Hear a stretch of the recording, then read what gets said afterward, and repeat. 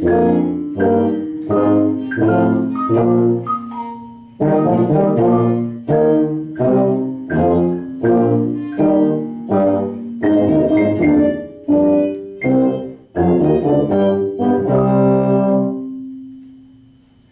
nice. Comments?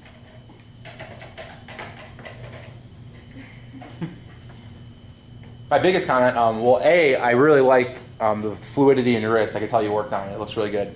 Um, I think, well, I know you're on the, you're to your right. You'll see in your video because the blackboard will make it so you can't see your baton. I mean, the whiteboard, obviously, will make it so you can't see your white baton. Okay. So try, keep working for split the center of your body with the tip of the baton for as much as possible.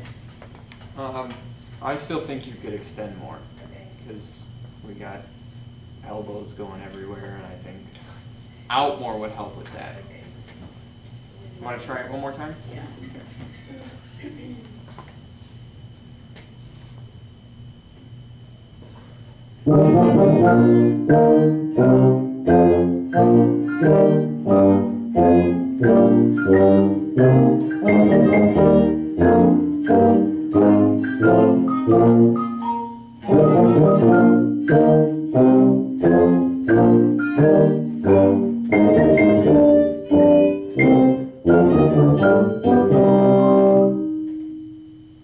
I think what's happening that I'm seeing, I think your, it's not that your arm is in the wrong position, but I think your wrist is turning this way.